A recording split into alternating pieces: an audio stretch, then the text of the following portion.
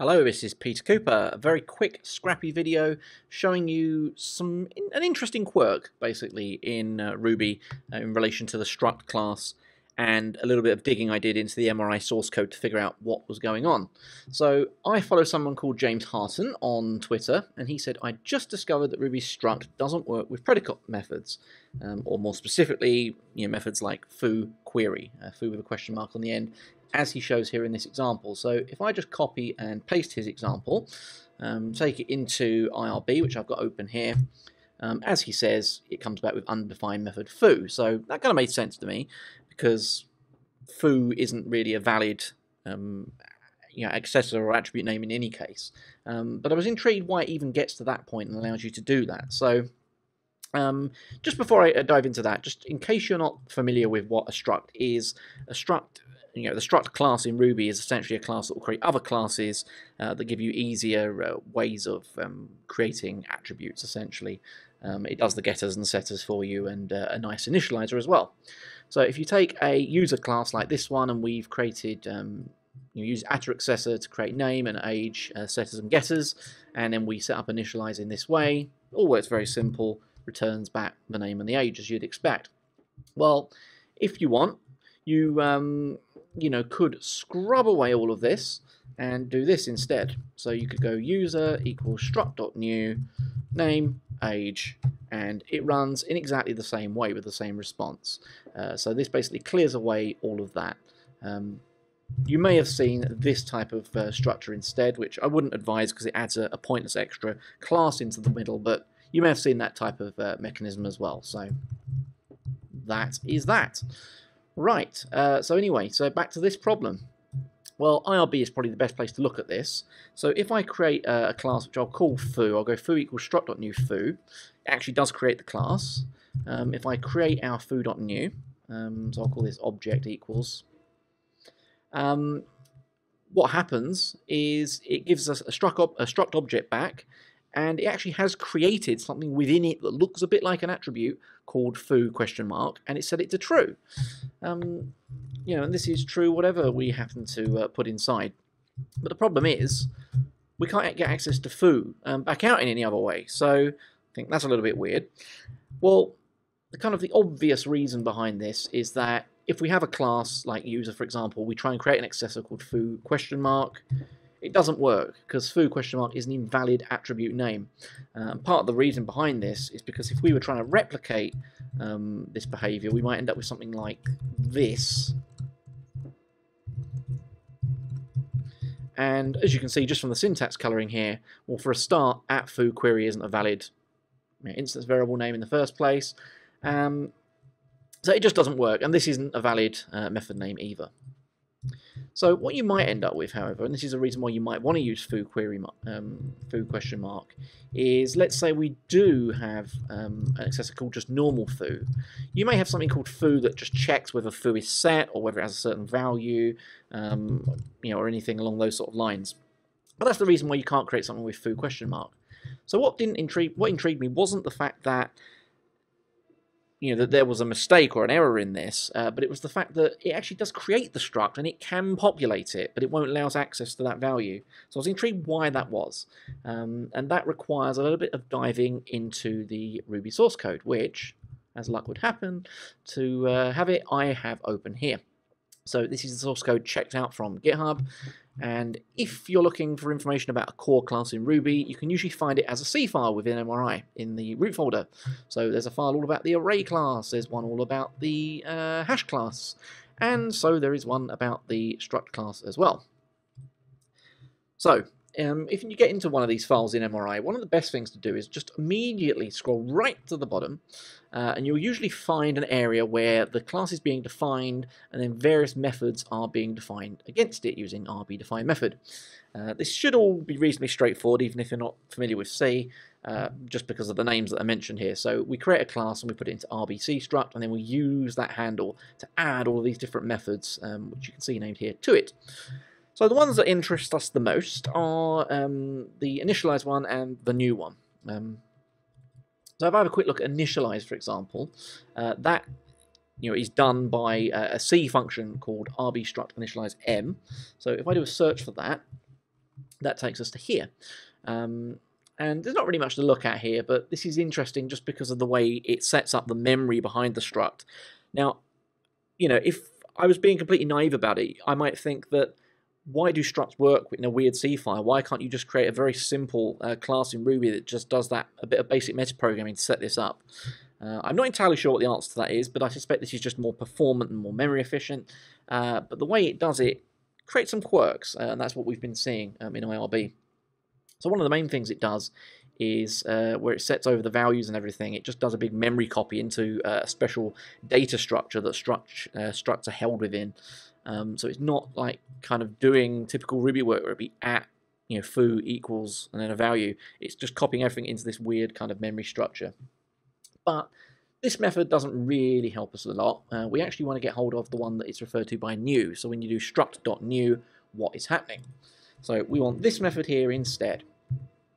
So this takes us up to something called rbstruct_s_def, and there is some nice documentation here that explains how it all works. We'll have a quick look. Um, we actually don't need to care about a lot of this stuff. The main thing that we're really worried about here is the part where it actually makes the struct. So that is this um, other function here called make struct. Now, again, there's a lot of stuff we don't need to worry about in here. Um, a lot of housekeeping and stuff like that, and checking the name and things like that. What is really interesting, however, is where it, it sets instance variables for all of the different things, but then critically, you know, it sets instance variable for everything. So where you saw like foo query, you know, it's actually storing that as we saw. Um, but this is the important part, this for loop here, which is poorly um, indented. If I just add one space in, just to help a little bit with this, um, it goes over all of the, what you might call uh, members. And the members are things like, um, in my user struct, like name and age and perhaps gender, things like that. So those are members. It goes over each of those and it checks to see is the ID of that thing a local ID, and we'll get to what that is in a minute, or, or is it a constant ID? If it is, um, then we don't care about these conditions so much, but essentially what's happening here is it defines uh, the getter and the setter method. Um, and that's what this is all about here. So here's the setter, for example, um, it converts the ID into a setter, which basically just means put the equals on the end, uh, and then you know use the uh, the C function rbstruct set to implement that. So what's happening here is that foo query isn't getting past this test. This is the test that's failing. It's not a local ID and it's not uh, a constant. Now, the thing I found interesting about this is it does allow constants through. So if we go back to IRB temporarily, and I do something like user.struct.new foo, so this looks like a class name here. Even though it's a symbol, um, as an ID, it still looks like a class name. Well, if you do something like this, you know, you can use what this looks like a, a constant ID. Um, it works totally fine um, in this regard. So I just thought that was kind of interesting. But back to this. So we know that foo query isn't a constant ID, we don't care about that. But why is it not a local ID? Well, this digs into something very interesting in the MRI code that is a system that works out what is an ID. Is it a local thing? Is it a method? Is it an instance variable? You know, what is it? So if I do a global search, um, it takes us deep into the guts of uh, the Ruby parser, essentially. And there's a lot of stuff you can go through in here. Um, that will waste a lot of your time. Um, but the most important part uh, to notice is all of these things hit on over on the right here, which not very well highlighted on this video, I'm sorry. Um, but things where you've got IDs that can be constant IDs, can be class IDs, can be junk IDs, um, and things like that. So we need to see where all these things uh, getting set and getting checked. Well, you do have to jump around this file a little bit, unfortunately. Um, but uh, let's have a look. This is where it gets a little bit uh, haphazard, me jumping through this file. Right, this is what we want. Um, so there is a C function called rbstr, so rb Ruby string sim name type, and what it will do is it will accept a, um, a string essentially, and it will tell you what type of the ID it represents. So if I go and find the method for this, I keep saying method, but in C I mean function really. So here we go. Um, now it does a bunch of stuff to do with the string encoding that we can kind of ignore. Uh, so what we actually want to jump into this inner kind of uh, function called Ruby encoded um, sim name type. So we're going to look for that one instead. And this is where all the fun happens. So what happens is a name comes in, um, it immediately assumes that any ID is junk straight out the gate. Uh, it does things like check the length and stuff like that.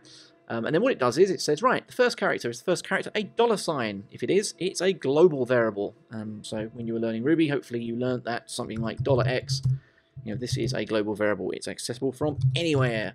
Um, hopefully, you know, this is uh, all reasonably obvious to you. I won't demonstrate all of the others, um, but there's various other things that it checks for. Um, it checks for like instance um, variable IDs. Uh, it checks for double at signs for class variable IDs, and so on and so forth. Well, the most interesting part is when it gets down uh, to here, where it works out is the first character uh, uppercase or not. If it is, then this is the ternary operator here, make it constant. Um, if it's not, then it's probably a local ID. So you think, okay, we're a local ID so far with our foo query.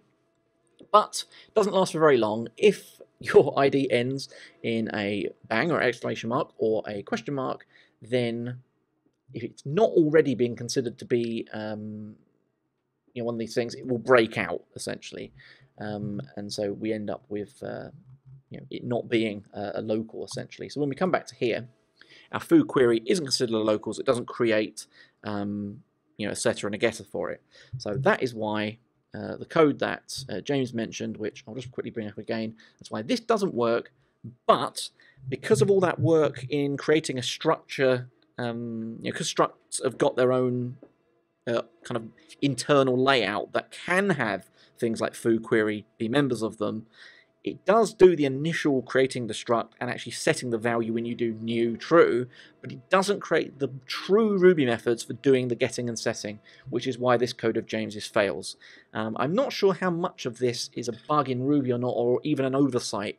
Uh, it seemed like an oversight to me, and I think it probably should not allow um, you to create structs with this type of mechanism, but I could be wrong. I'm not uh, part of the Ruby core team or anything like that, so just thought I'd bring this up. Thought it was an interesting uh, kind of bit of spelunking into the uh, MRI code, um, and you may be interested in having a dig around and uh, possibly even turning this into an issue on the Ruby tracker one day if you get a bit further than I do. So, thanks for watching.